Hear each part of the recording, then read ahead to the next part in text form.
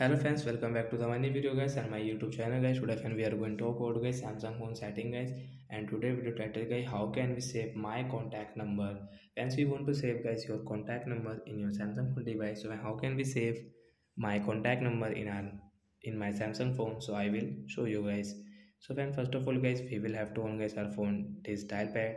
And guys i will enter guys my number guys so example guys i will take uh, this one one one one and guys i will click on this three dot guys tap here and once you can see guys this setting guys so how can i save guys this contact number in my samsung phone device guys? Once you can see guys this plus option first of all guys tap here. Once you can see add to contact. Once you can see new contact guys we will tap here.